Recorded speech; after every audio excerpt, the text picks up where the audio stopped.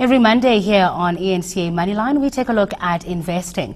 This evening, we look at how to invest in money markets and the benefits of doing so. My guest for this discussion is Ian Ferguson from Nedgroup. Thank you so much, Ian, for your time uh, today. Uh, in simple terms, what are money markets? Yeah, money market funds basically invest uh, instruments into all the banks and other instruments like corporate paper and parastatal paper. There's, I mean, there are a lot of different money market funds in South Africa. If you look at the unit trust industry, there are probably 23 different money market funds yeah. offered by the usual asset management companies. And, and as I said, there are about 23 of them. Um, but effectively, what we do is that we'll obviously place money with banks and other institutions, and clearly they pay us a yield for that. Yeah. So clients or investors looking to sweeten call accounts would look at money market funds, which would then give them a better yield. Yeah, and I was going to ask you what is the difference because people often sometimes um, uh, mistake the, the, the, the, difference between a call account yeah. and a money market. Okay. So a call account would be on balance sheet at a bank. So when you actually go into the bank branch, you place money, would go onto the bank's balance sheet. A money market fund would obviously place money off balance sheet via a collective investment scheme, which is a unit trust, a okay. money market unit trust. And what is an investor trying to achieve by investing in money market? Okay. So uh, obviously, you know, depending on your risk profile, clearly the equity funds, there's, there's balance funds, there's property funds, and, and bond and money market funds. So money market would probably be the lowest risk of all the different unit trusts you can get. It's a very big industry in South Africa. It's effectively 250 billion rand. If you look at globally, um, started in the US around about the 1970s. It's a couple of trillion dollars there. Europe, it's big. It's been around since the 80s. And South Africa started in the late 90s um, with various money market funds being launched then. And as I said, it's about 250 billion rand. And, and how has it performed? Well, it, it effectively it outperformed inflation to some degree, yeah. uh, but you know it's it's not going to give the same return as, as Naspers, as, as, as Peter mentioned earlier. Yeah. I mean, these returns are excessive. So money market is the low risk side. So it's effectively trying to see how you can better a call account uh, yield. So a call account probably pays between 5.5 and 6%. Money market funds would yield around about the 6.5%. So slightly better yield, but for that, you're obviously spreading the risk between different institutions, yeah. but also your duration is enhanced. What I mean by duration, effectively, the money market manager can invest up to 13 months. Um, and obviously, that gives you then the opportunity to go bet, get better yields. Okay, and what's the underlying investment? Okay, underlying investment depending on the money market fund.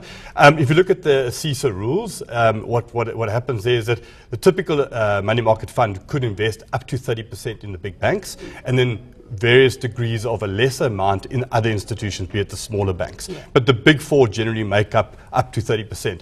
You get more conservative money market funds where they're limited, where they can only go 25% because maybe it's a Regulation 28 compliant fund from a, from a time point of view. Um, but yeah, it, the underlying investments are short dated uh, yielding instruments. And it's, it's quite liquid, you can take your money in and yeah, out? Yeah, yeah. So money market funds, your liquidity is basically same day. Yeah. Um, through a list platform, it might take 24 hours, but generally speaking, if you're investing directly with a banker, it's, it's same day. I mean, one can then go a little step further and say, well, where do you go other than money market funds to maybe get a better yield? Yeah. So that would be in your sort of low income space where you'd have an enhanced income type fund where your duration would be extended further than a money market fund. As I said, in a money market fund, you can invest, the investor can invest up to one year, i.e., the asset manager. Yes. But there might be other instruments which are income funds, uh, sort of enhanced income funds, where the investor could go up to three years or five years. Okay. Um, but that mm. money would be available within, say, 48 hours versus, say, 24 in the money market. Okay. And, and these income funds, how do they differ then? Yeah, sl- slightly better yields. Yeah. Okay. But you've got to understand what you're getting yourself into yes. as well. So it's quite important to obviously seek financial advice. And I guess very importantly to make sure you know what you're investing in. So it's still up to the investors still to make sure that you know they are going into good quality sound investment yeah. strategies that the investment managers put in place. Yeah. So you know you, you get you get money market funds, you get income funds, and with income funds you can have various types of different asset classes. You can have preference shares. You mm. understand the risk of preference yeah. shares. You can have bond funds. On, uh, uh, sorry, bond investments, and we have to understand those risks as well. Now, how how easy is it for someone to actually invest and what, what sort of costs are we looking okay. at? Okay, so money market funds generally, the cost are roughly 50 points per annum. That's for a retail investor. Clearly, larger sums at- attract better fees, mm. but generally speaking, a retail investor will pay around about the 50 points plus VAT 57.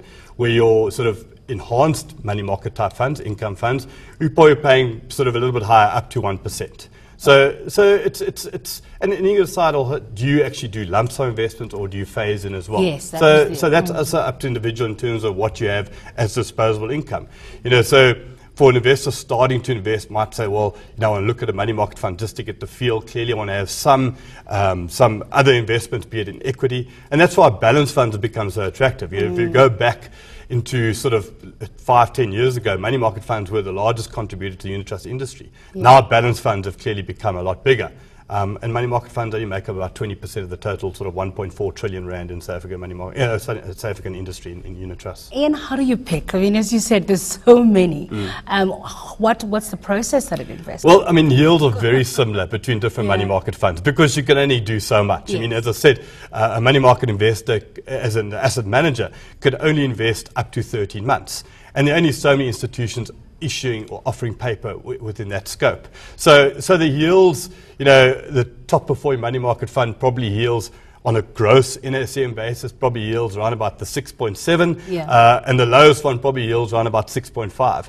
So, you know, So the margin is just the- very the- it's very low. And I guess, you know, go to a financial advisor. I mean, clearly brand is quite important. You know, to look at the, the, the, the bigger funds offer better liquidity. Yeah. Um, you're, you're not as, as, as locked up potentially. So I guess you must go what, what you feel is the best, which I guess which brand resonates with you. All right, we'll leave it there. Thanks for your time today. Ian Ferguson is with Nedgroup Investments.